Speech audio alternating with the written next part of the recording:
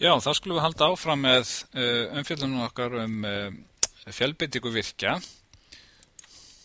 og nú ætlum við að tala um uh, overloading eða yfirskrift á útaks- og intaksvirkjónum. Um, nú, intaksvirkin er tvíundarvirki.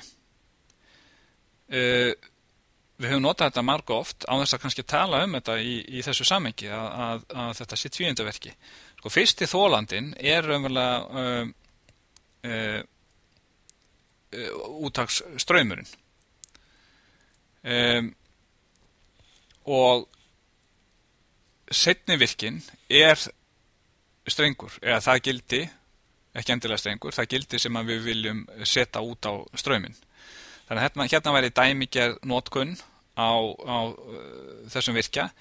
Þar sem við erum með sé átt vinstramein, við erum með virkjan sjálfan uh, og við erum með einhver streng sem við uh, ætlum að senda út á, á ströymin hérna er það sé átt sem við notum eða, eða sem að stendur fyrir skjáin. Nú við getum einmitt yfirskjöfa þennan virkja og, í, og þar með eh, notað hann í stað þess að nota output-fallið okkar í monni klassanum.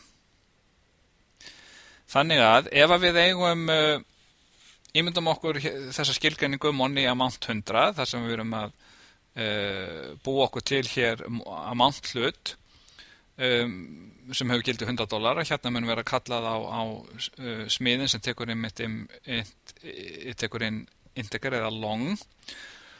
Og þá get, höfum við hingað til geta sagt að mount.output sé out. Af því að output fallið ef við förum í kóðan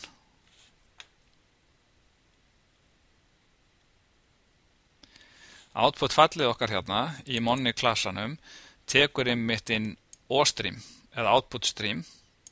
Og þannig að við getum sett, sendt sé out þar inn. En það var auðvitað þægilega fyrir okkur að geta gert þetta svona eins og við hefum gert við, við mörgum forritum hinga til.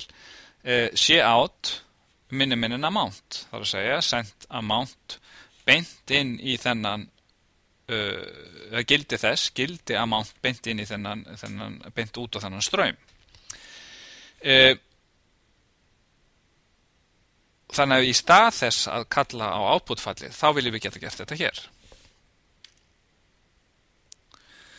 Nú, það, til þess að átt okkur á því að þetta sé raunverulega hægt, þá þurfum við aðeins að velta okkur fyrir því hverju raunverulega skilar þessi virki. E, sko, við aðtíðað í mörgum fórhúttum höfum við geta gert eitthvað á þessa leið. Sé átt minni minnen, einhver strengur I have, svo aftur minni minnen, amount minni minnen in my purse og svo framvís. Við höfum geta búið til svona uh, runu af... Uh, um, gildum sem við viljum senda út á Sheout.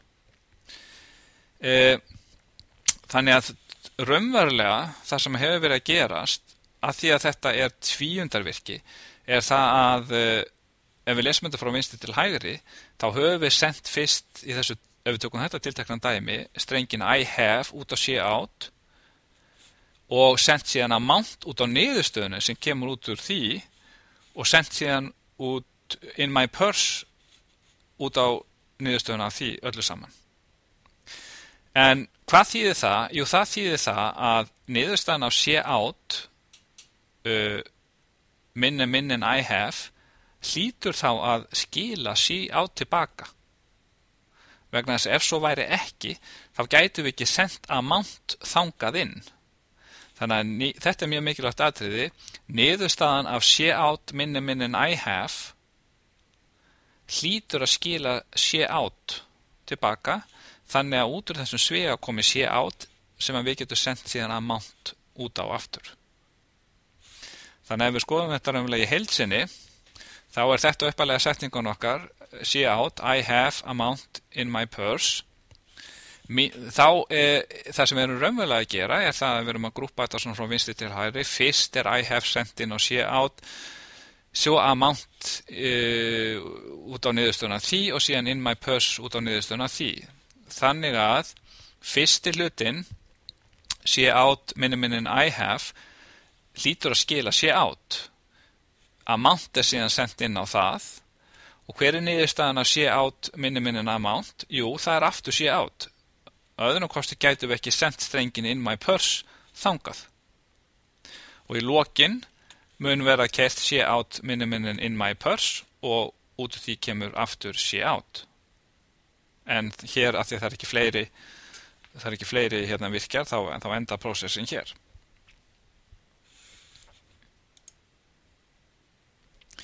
Þannig að ef við höfum þetta uh, dæmi hérna undan svona til þeisjónar þá ættir umvel þessi virki að skila uh, fyrsta viðfanginu þar að segja úttagsströymnum og þetta leiði þá til eftirfarandi skilgrinningar á yfirskrifaða virkjanum. Ef við viljum geta nota hennar virkja í okkar eigin klösum, þá notum við á sama háttum við farið yfir hérna áður að, að við segjum, notum líkir orðið operator og svo nafnið á virkjanum, hérna er það minnen minnen. Áður vorum við búin að sjá dæmum það sem vorum með plus eða samansem samansem eða mínus og svo framvegs. En hér er og já, og við skulum fyrst aðtúa það að það sem kemur hér inn er í mitt óstrím, það er að segja ströymurinn sem að skrifa út á og hluturinn sem að umræðir, það er að við viljum skrifa gildi þessar hlutar, hérna monni hlutar, amount, út á þennan ströym óstrím, eða odds, en það sem skilast tilbaka, það er það sem er interessant núna, það er einmitt óstrím, eða öllu heldur reference á óstrím. Akkur þurfum við að geta skilað þessu tilbaka? Jú, það er akkur út á þessu sem vorum að fara yfir hér. Sér hver beiting þessa virkjar á tvö viðföng, annars vegar sé átt og hins vegar einhvers hlutar, þarf að hafa í för með sér að, að niðurstaðan úr fallakallinu eða beitingu virkjans er sé átt aftur. Öðrum kosti getum við ekki sendt aftur einhver, einhver nýjan hlut út á skjáin þetta er semst ástæðan fyrir því að við verðum að skilgreina uh, þennan virkja þannig að niðurstaðan að beitingu hans er óstrím ambesand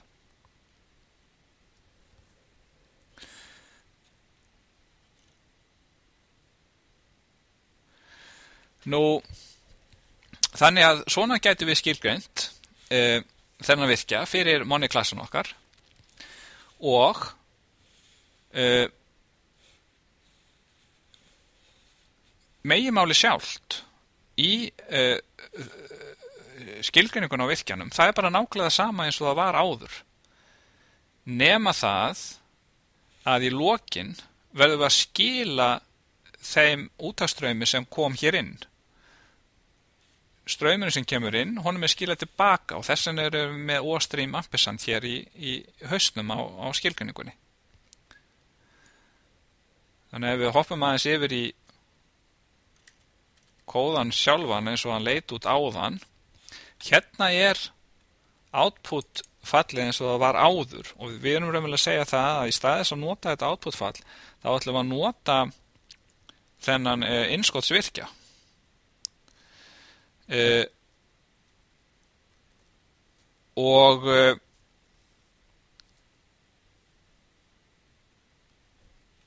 kóðin sjálfur í fallinu hann breytist ekki neitt. Allur þessi kóðu hér uh, hann er takið eftir að skrifa út á þennan ströym sem kemur hér inn.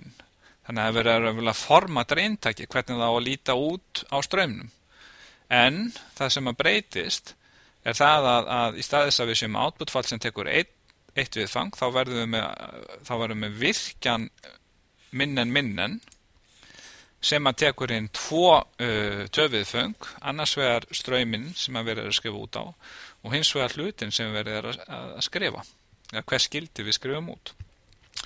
Kóðin er nákvæmlega sama á áður nema verður mann passa okkur á að skila ströymnum í lokin vegna þess að það er ju skilgjönd hér í haustum á fallinu að þegar ég skila ströym tilbaka. En þá er eitt sem við hefum ekki fallað um og það er akkuru ef við erum að skila hérna referens á ströym en ekki ströym en ekki bara óstrým. Sem spurningin er akkur er það óstrým ambisand en ekki bara óstrým. Já, sko, og þetta er, er raunverulega nýtt, við höfum ekki séð þetta aður vegna þess að öll föllin okkar sem við höfum skoðað hinga til hafa skilað gildum en í þessu tilvík erum við að skila referens. Í þessu tilvík er það þannig að gildi á ströym er nú ekki auðvöld að skila tilbaka vegna þess að hvað er gildi á ströym? Það geti verið þess vegna öll skráin ef við varum að ræða fælströym öll skráin sem að uh, hefur verið tengt við þennan ströym það getur verið liklaborðið ef að þetta er liklaborðströymur það getur verið skjárin ef þetta verið skjáströymur þannig að, að það, það hefur eiginlega engan tilgang eða ef maður má sletta það meikar ekki sens að skila gildun á ströymnum tilbaka við viljum ræðilega skila ströymnum sjálfum ekki gildun á honum og þess vegna notum við reference við, eh, við skilum uh, referens á, á ströyminn tilbaka en ekki gildi hans.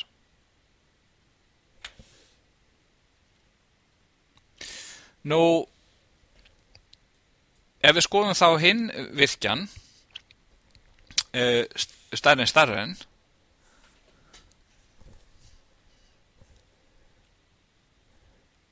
Já, um, við getum sem sagt um, yfirskrifa líka um, útráttavirkjan á nákvæmlega sama hátt og við vorum að skoða á þann. Við setjum hérna virkjan sjálfan, við erum með operator líkilorðið. Núna erum við að taka inn inntaksströym af því að við erum að lesa inn og þá skilum við inntaksströymni tilbaka. Þannig að í stað þess að nota uh, input fallið sem að var skilgjönd í moniklassanum okkar, þá viljum við geta að nota henn að virka í staðin. Þannig að kóðin sem að uh, umræðir er nákvæmlega svo samu áður. Ef við skoðum hann, hvernig hann var hér áður. Hér er input fallið okkar sem að tókinni mitt inn input ströym og eh, eini munun er sá að raunverulega þar sem að stendur all sent sérna þá uh, munum við vera með amount punktur all sents að því sko að inputfalli hérna er, er eh, meðlimafall í monni við erum raunverulega að breyta því yfir í að verða frendfall þannig að það taki inn uh, monni hlutin sem það á að skrifa, sem það á að lesa inn í. Þess vegna þurfum við að breyta all sense yfir í amount.allsense að því amount kemur inn. Og svo þarf að passa sig á þessu í lókin að, að skila tilbaka uh, strömmnum sem við sendum inn. Af því að hér skilast uh, input strömmu tilbaka. Þannig að þetta er umlega nákvæmlega það sama og við sáum áðan með að yfirskrifa e, intaksvirkjan minnen minnen þá yfirskrifum við hinn á nákvæmlega sama hátt. Eða inn, þessi intaks, þetta er eiginlega innsetningarvirkin, það er eiginlega rétt orðið. Þessi heitir innsetningarvirki og þessi hér heitir útdráttarvirki extraction operator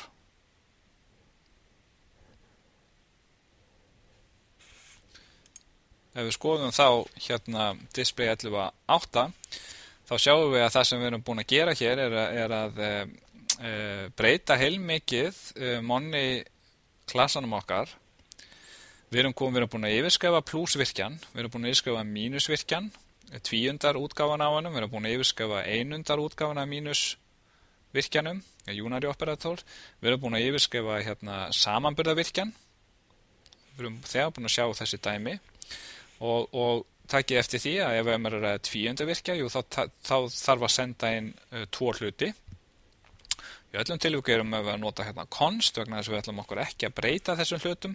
Við erum í öllum tilvíkjum að skila tilbaka uh, nýjum uh, hlutum sem er niðurstann að því að leggja saman eða draga frá. Í tilvíkinu það sem við verum með sama sem sama sem þá skilum við tilbaka búl sem er annarkort trú eða fóls. Nú, það sem að bættist við hérna í þessu display 11.8 var þá þessi bara, þessu umfjöldun okkar um hvernig við yfirskuðum þess að tvo virkja hérna, starfinn starfinn og minnen minnen. Og um leið og við erum búin að gera það, þá getum við fara að gera hluti eins og hérna skilgreina uh, input fælströym og output fælströym tengta við einhver, skráanöfn eins og infile.dat og outfile.dat við getum þá lesið uh, úr innströmmnum yfir í einhverja breytu einhver hlut sem heitir amount Nú erum við, fyrst, fyrst að við erum búin að yfirskjöfa þennan starri en starri en virkja, þá getum við gert þetta. Og hvað gerist þá? Jú, það er kallað á fallið okkar sem að stendur fyrir þennan virkja. Starri en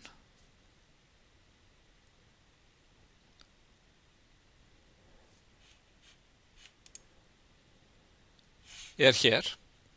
Þetta er fallið sem að hétt áður input sem að las inn af liklaborði tölun okkar og, og við fórum einhvern tíman yfir og er, er í sjálfur sér uh, daldil flækja í að það var verið að lesa um, það, það var möguleg að hafa mínustölu á undan það var möguleg að hafa dollar á undan og svo á lókum var talan sjálf lesin inn ég ætla ekki að fara yfir það núna En síðan er þetta ymmit að, að senda, uh, þegar búið er að lesa inn, þá getum við gert þið öfu að senda uh, þennan hlut okkar beint út á átströmin.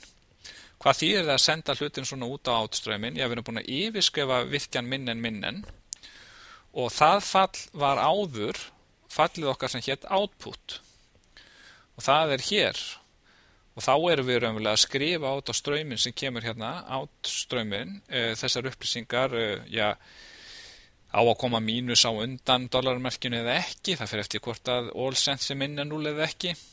Og e, á lókum er, er, er talan okkar hérna skrifuð út á, á ströyminn og það sem það er að passa sig á er að skila ströymnum tilbaka.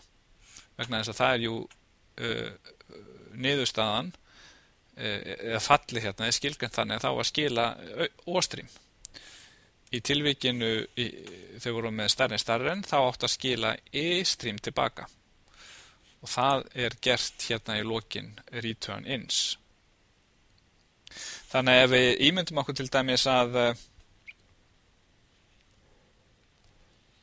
þetta sé uh, þetta séu gögnin sem að eru í intaskráni e, dólar 1.11, dólar 2.22, dólar 3.33 þá er aðalfóritið þannig að þá opna þessa tvo ströyma þessa skrár, infile.dat og outfile.dat það lesin bara eina tölu uh, úr þessu þessum intakströym hérna yfir í amount objektið þannig að það er, og, og skrifa hann síðan út og segir outstream minni amount copied from the file infile.dat þannig að það er fyrsta tala hérna 1.11 sem er copied from the file infile.dat